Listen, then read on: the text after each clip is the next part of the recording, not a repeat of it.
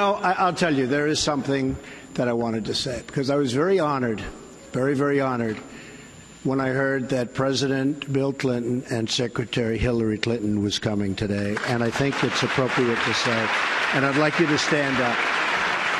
I'd like you to stand up.